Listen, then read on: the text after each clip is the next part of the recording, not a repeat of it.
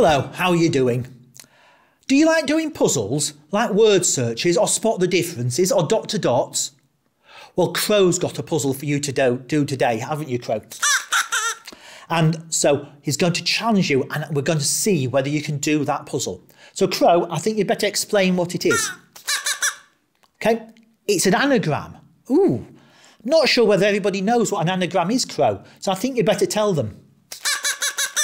Okay, you start with a word, and then you change the letters in it, but you just change the order of the letters. Ah, so you don't make different letters there, you just have the same letters, but in a different order. And then you've got to try and work out what that first word was. Oh, that sounds tricky, but Mind you, having a look at those children, they look pretty clever. I'm sure they'll be able to do it. Okay, so let's see. So you're going to show us one word and see if we can work out what it started off as. Okay, let's look.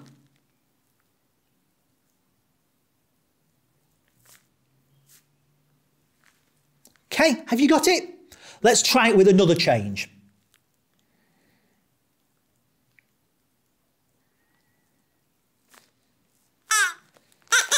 And again,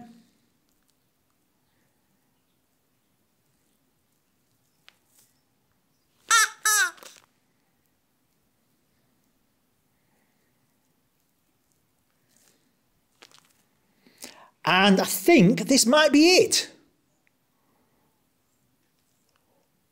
That's it, Crow. So that's the word. What was the word? That's right, change. So we're thinking about change and we're going to tell a story about change. But I think I need to get changed as well. So I'll see you in a minute. So during our story today, we're going to think about a man called Peter, and he had lots of different feelings. I wonder if you can pull faces to go with the feelings as we go through the story. He might be happy with a big smile, or he might be sad with a downturned face, or he might be a bit worried or a bit grumpy so as I do the story, come up with the different faces at the right times. So, are you ready? Let's hear the story. Peter was a fisherman. He used to work with his brother Andrew and their friends. They would go out on the Sea of Galilee in their boat and they'd throw their nets over the side. Sometimes they'd catch a lot of fish and that made Peter happy. But other times they hardly caught a thing and that made him sad. Once Peter and the others had set out in a happy mood to go fishing. They set off late one afternoon and stayed out all night. They'd throw their nets over the side of the boat, drag them along and pull them in again.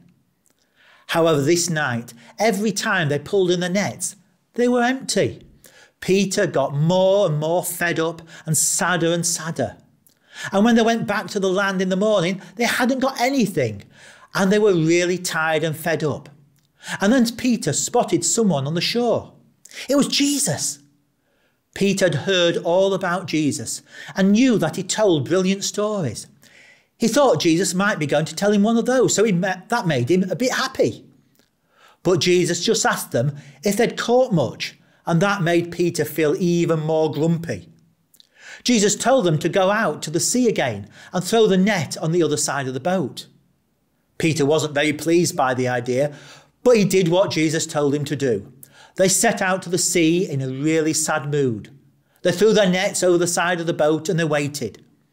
They were just about to give up again when Peter saw lots of silvery shapes moving under the waves. The sea was suddenly full of fish, dozens and dozens of them. And soon Peter's sad face broke into a massive, happy smile as they hauled their nets in. There were more fish there than they'd ever caught before in one night. When they got to the land, Peter started to talk to Jesus.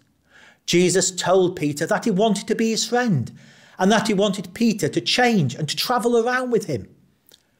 Peter was a bit worried about what this would mean at first. But as he started to listen to Jesus more, he decided he wanted to do what Jesus asked him. He realized that that would be the best choice possible. His life had changed for the better. If you saw him now, you'd see a big, happy smile on his face. And as he travelled around with Jesus, Peter saw people with sad faces because they weren't very well, And lots of times, Jesus did something amazing that made them better, and that they went away with big, happy smiles on their faces. But nobody had a bigger smile than Peter. During that story, there were lots of changes that took place. Peter started out as a fisherman and changed into someone who spent his time following Jesus.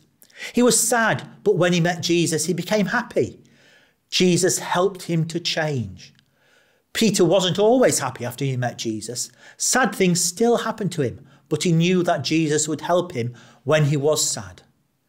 Jesus helps us to change, to become the best people that we can. He'll help us to change the things that are in our lives that make us a bit sad, that we don't like about ourselves. And He'll help us to make the good things even better. He helps us when we're happy, and He helps us when we're sad. So He helps us all the time. So let's remember how Jesus helped Peter to change, and let's remember all those things that happened to Peter. Hope you've enjoyed that story. I'll see you again soon.